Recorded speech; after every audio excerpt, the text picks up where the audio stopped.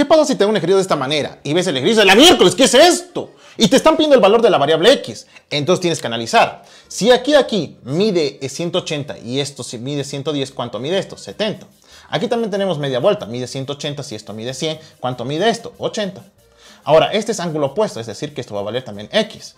Aquí también tenemos media vuelta. Si esto aquí, aquí mide 180 y esto mide 160, ¿cuánto mide esto? 20. ¿Qué dice una de las propiedades del pescado? Que la sumatoria de este ángulo más este ángulo tiene que dar 90 grados. Si esto mide 20, ¿cuánto mide esto? 70 este es ángulo opuesto, es decir, que va a valer también 70. Ahora, la sumatoria de estos cuatro ángulos tiene que ir a 360 grados. 70 más 70 más 80 más x es igual a 360. 70 más 70 más 80, 220. Más x es igual a 360.